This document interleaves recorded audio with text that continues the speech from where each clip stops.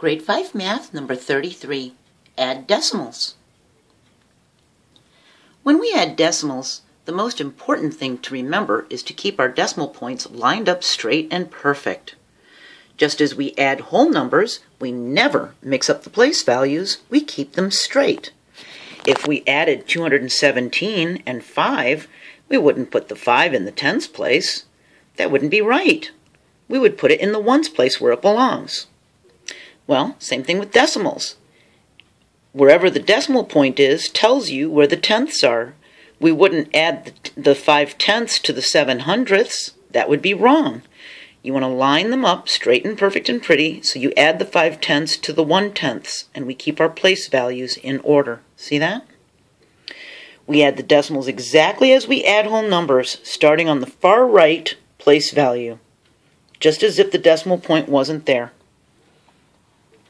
We carry over re and regroup as we needed, just like regular whole numbers, and we start adding on this side first, just as if it was a whole number. 8 plus 4 is 12.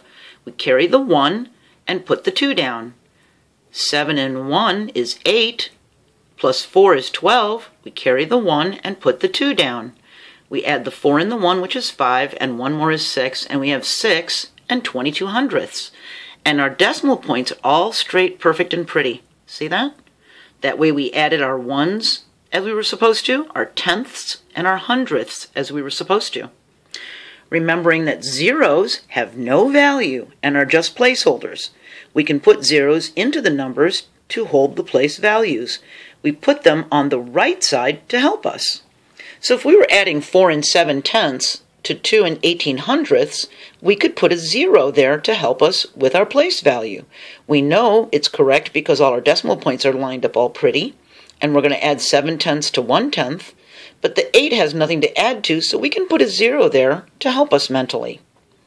0 and 8 is 8, 7 and 1 is 8, and 4 and 2 is 6. Our answer is 6 and 88 hundredths. See how the 0 helped us? We keep our numbers straight, perfect. We keep our decimal points straight and perfect. See that? You don't want to cross your place values over because you'll get a bad grade, okay? If we're adding 2 and 4 tenths, to 1 and 215 hundredths, we can put our two zeros there. And then when we add, we have 5 and 1 and 6 and 3, and we have 3 and 615 thousandths. See? It helps us keep it all straight. If the bottom one is missing zeros, we can put those in. If we were adding 4 and 512 thousandths to 3 tenths, we line up our decimal points all straight and perfect so that the tenths are being added to tenths. We put in our helpful zeros and we have 2, 1, 8. We drop the 4 and we have 4 and 812 thousandths. We can do it this way even if there's no decimal point. If we're adding 3 to 1 and 27 hundredths, we can put in a decimal point and the zeros to help us. 7, 2, and 3 and 1 is 4. We keep this all straight and pretty and perfect, and we have 4 and 27 hundredths. See? We can also rewrite it to solve it if it's in word form. 7 and tells me it's a decimal point, and 21 hundredths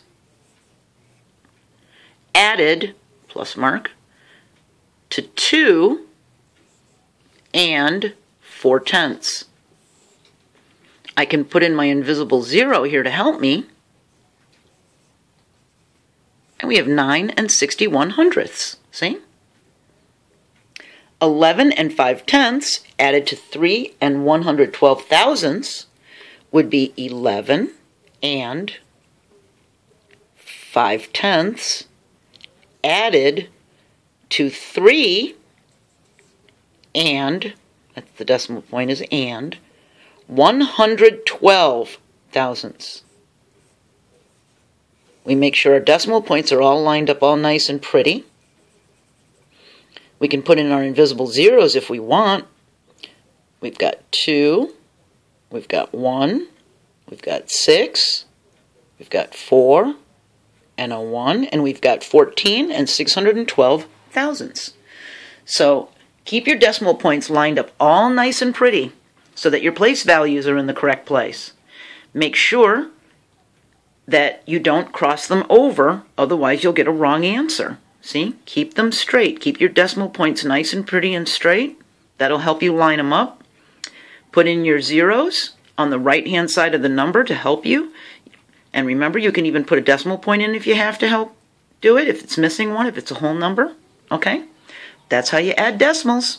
Keep them straight, regroup, just like you would a whole number. Just keep the decimal points all straight and pretty and perfect. See you next video. We're going to talk about subtracting them.